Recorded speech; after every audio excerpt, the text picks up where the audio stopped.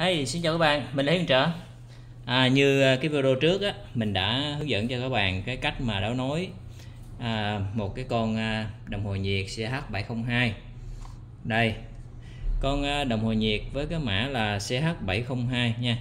Cái mã này là bên mình cung cấp. Và với cái mặt là 68 à, cái mặt 72 72 và cái thước lọt lộn lỗ là 68 68 à, đây là cái model của nó này cái hàng bên này à, hàng này là bên mình cung cấp nha. Nó có hai cái ngõ ra SSR và ngõ ra relay. À, điện áp là 220V à, điện áp 220V nha. Ra rồi cái à, bạn à, coi cái chân cái chân đọc bên này luôn nha. Thì cái chân bên này bạn coi đi. Đây. Này để mình để cho nó khỏi chói nha. Nó hơi sáng nó hơi ánh sáng nó hơi chói. Chân 12 là cái chân nguồn mình chỉ quan tâm là cái chân 12 chân à, 56 và cái chân bên này là chân nhiều đây 10 17 18 rồi. À, các bạn muốn đấu một cái à, cái bảng điều khiển mà để điều khiển được một cái phòng sấy hoặc là máy giặt hoặc là cho những cái tủ hấp cơm những cái uh, à, cái chỗ nào mà mình muốn kiểm soát nhiệt độ chẳng hạn như trong đường ống hoặc là kiểm soát à, khí nóng à, tất cả các loại kiểm soát về nóng nhiệt thì các bạn sẽ um, theo cái tình tự này sẽ làm. À, với cái con à, đồng hồ nhiệt này thì các bạn đấu cái ngõ ra là SSR thì cái con SSR mình cũng đã giới thiệu ra trong trong cái video trước á, là SSR 40DA đây các bạn coi kỹ này nha à, 40DA à, thì à, cái con này 40DA thì mình sẽ này nó sẽ có hai cái chân. Đây mà. À, cái này là trên là chân 1 chân 2 với cái đầu điện nó sẽ lớn hơn này mình tháo ra rồi này lớn hơn tí. À, các bạn để ý nha đây là cái đầu ra. Thì à, bắt đầu á của cái cái động lực này á là một cái dây nguội này mình đi màu xanh này thấy không? Các bạn thấy không? Đi qua bên này đi thẳng ra đây. À, mình đấu cái domino để cho nó dễ này không? Rồi cái hai cái thứ hai là cái dây động lực này dây màu đỏ này đi lên đây. Rồi qua đây rồi ra đây không? Ở đây là mình cái chân vào của cái điện trở này rồi rất là đơn giản đúng không? Rồi cái chân thứ hai mình sẽ lấy một dây nóng này một dây nóng ngay đầu đầu này và một dây nguội nè ở cái đầu ra của dây nguội này đúng không?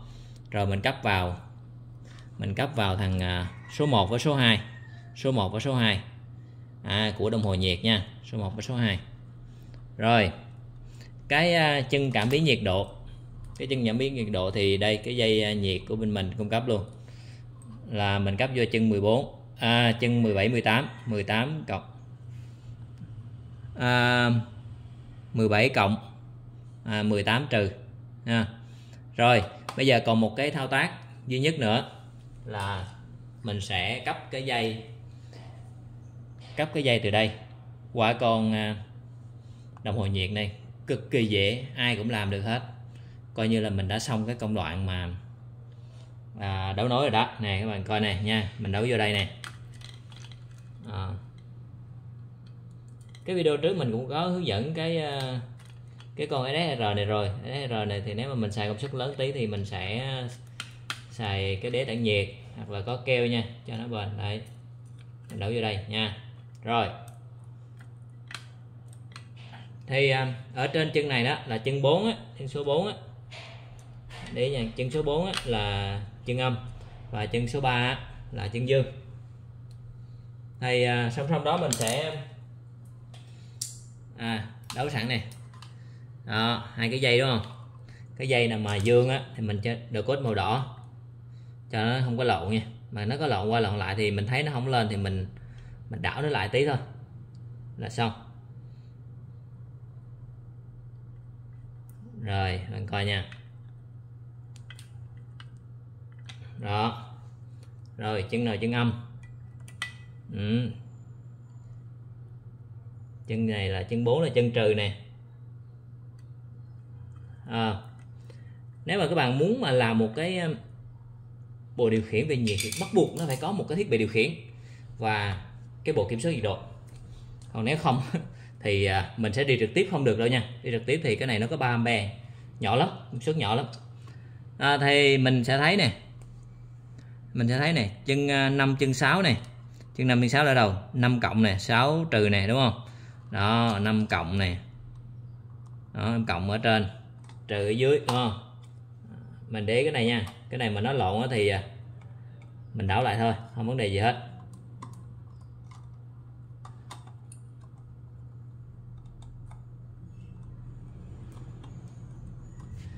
Rồi coi như là xong cái mạch điều khiển của mình. Xong cái mạch điều khiển để đây luôn. Xong rồi đó. À, mình để gọn qua đây cho nó dễ nhìn nha. Rồi ok để về xài luôn. Rồi à, trên đây mình đang cầm là cái à, cái này là cái điện trở nha. À, mình giới thiệu sơ về cái điện trở silicon. Đây là một cái dạng điện trở silicon bên mình cung cấp. À, với cái công suất là 100W trên 1 mét. À, cái này lên nhiệt rất nhanh làm à, làm cho làm nóng đường ống rồi nè. Những cái khu vực ấy là mình dán cái này lên. Với cái bề mặt tiếp xúc á, là 14 thôi 10 bề ngang đây là 14 mm còn cái bề dày là 3 ly rưỡi. À, những cái thông số thường có là 1 m 2 m à, 3 m à, 5 m nha. 5 m rồi tới à, 9 m rồi các bạn mà có cái nhu cầu mà mua cái điện trở silicon này nè nó rất là an toàn nha. Chút xíu mình động tay vô bên coi luôn nha. À, mình sẽ thử đây luôn. Thì cái nhiệt độ nó lên bao nhiêu và cái ứng dụng nó như thế nào. Đây mình cấp vô đây luôn nè cấp trực tiếp luôn. Cái này là điện áp 220V nha. Cấp trực tiếp này, do là nó là điện trở thuần nên là các bạn cứ cấp dây nào vô cũng được hết. Rồi mình sẽ điều khiển nó thử maximum nó lên được bao nhiêu độ. Sẵn đây mình thử cái à, dây silicon cho khách luôn. Và hướng dẫn khách đấu cái à, bảng bản điện cho cái silicon này luôn. Vậy là điều khiển được một cái à, bộ phận nhiệt cho cái cái điện trở silicon này rồi. Cái dây này là dây 3m 300W thì mình sẽ kiểm soát nhiệt độ nó ở đâu? Ở đây đi nha. Ở đây đi mình kẹp nó vô đây nè. À, kẹp nó vô đó. Bạn thấy không? Thấy rõ không? Đó thấy rõ nha. Rồi. Này mình nhích lên tí nè. Rồi ok các bạn coi nha. Thì à, bây giờ mình chỉ có cái à, công đoạn tiếp theo. Cuối cùng nữa là mình chỉ cần cấp cấp điện thôi. Cấp nguồn nha. Đây mình cấp nguồn cho nó đi.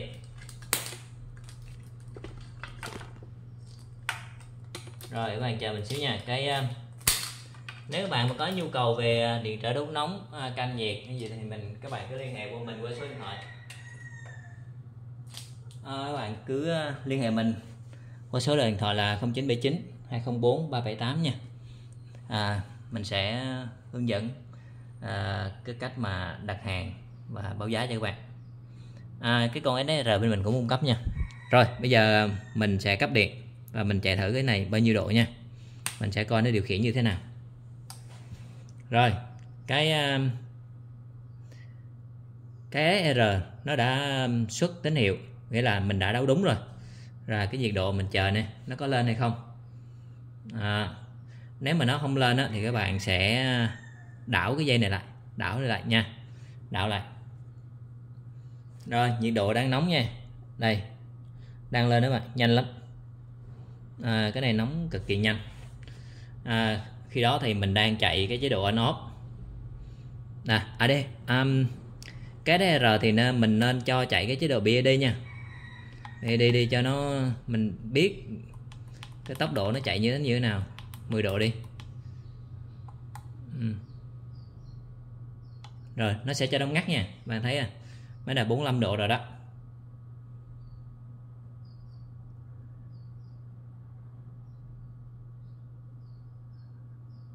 Vì à, hồi nãy mình đang làm là cái chế độ on off, nên là nó sẽ nhận một chu kỳ rồi, cái chu kỳ thứ hai nó mới chính xác được nha. Đây đây là cái nhiệt độ quán tính của khi mà nhiệt nó sinh ra lớn quá, thì à, cái nhiệt lượng nó sinh ra thì bắt buộc cái cái cái can nhiệt nên nó phải nhận được cái tín hiệu này bao nhiêu độ thì nó báo về đây thôi còn cái tất cả thì nó đã tắt rồi. Cái này là nhiều nhiều anh à, anh em cũng có thắc mắc cái vấn đề này. Cái này là cái nhiệt độ nó đã được nhận được nha, nhận được tại cái vị trí nó cảm biến. Lượng nhiệt mình sinh ra quá lớn, chẳng hạn. Thì nó sẽ kiểm soát chưa kịp. Đó là tại sao mình phải chạy BAD chạy BAD thì mình chỉ sử dụng là cái con NR thôi, còn khơi tự nó sẽ đóng không kịp. Đó, nên là nó sẽ có một cái nhiệt độ quán tính nhất định. Nó sẽ chạy một tới hai chu kỳ, nó sẽ hết. Đó là cái tại sao mà người ta phải chạy BAD là như vậy. Nên là mình phải hiểu rõ nó như thế nào để mà mình biết mình khắc phục cái này. À, nếu mà các bạn muốn á, cái quán tính này thấp á, thì bạn chuyển cái bi đó nó sẽ cao lên. Bi bằng 10 bi bằng 20 chẳng hạn. Thì sẽ tới gần tới 20 độ chuẩn bị tới cái đường cái ngưỡng mình cài đặt thì nó đã chạy bi đi rồi thì nó sẽ nó sẽ là gọi là nó thắng lại á. Thì nó sẽ không có bị quán tính nhiều nhưng mà một vài chu kỳ đầu nó sẽ bị quán tính nhưng mà chu kỳ tiếp theo nó sẽ hết. Nha nó sẽ khắc, khắc phục từ từ. À. vậy thôi bây giờ mình cứ tăng maximum lên. Thử cái cái co mình tăng lên 100 150 độ đi nha. 150 độ mình coi thử cái cái điện trở silicon này nó lên được lên nổi 150 độ hay không. Ôi 80 độ nóng lắm các bạn ạ. Nóng lắm. Cái này là đang là 79 độ đó. Nó nóng khá nóng ấy vì bây giờ nó không giảm được thì cái SSR nó sẽ cũng cũng không có nhận được tín hiệu đâu. Nên nó sẽ không xuất. Thì bây giờ mình cho nó lên à, 100 độ đi. 100 độ đi nha. À, mình nghĩ cái này nó lên 100 độ hơn á. Là 100 độ. Thì à, bắt đầu cái con SSR nó đã xuất ra ra tín hiệu rồi bắt đầu nó cấp nhiệt. Thì cái con à, bắt đầu nó nhận được nhiệt nó sẽ báo về và nó sẽ tăng lên à. nó tăng lên tới 100 độ thì nó sẽ tắt. Thì mình nghĩ cái này là điện trở silicon thì cái ờ, yếu tố khoảng chừng 100 tới 100 mấy độ là, khoảng chừng 180 độ là bắt đầu nó đổi màu của silicon nha. Cái điện trở silicon này rất là hay, ứng dụng nhiều lắm. Nên là các bạn là có nhu cầu về điện trở silicon thì liên hệ mình. Cái loại này là loại 100W trên 1 mét nha, nên là nó lên nhiệt khá nhanh đó mà thấy không? Bắt đầu đóng ngắt rồi nè. Không? Bắt đầu đóng ngắt để cho mà nó ít lại quán tính. Các bạn cứ chờ đi để chờ cái chu kỳ này nó sẽ như thế nào. Nó sẽ đỡ quán tính hơn và nó sẽ có đúng 100 độ nó sẽ không quán tính nữa. Hoặc nó chỉ hơn một chút xíu. Nó đỡ hơn nhiều. Còn hồi nãy muốn tính tới mấy chục độ lần đúng không?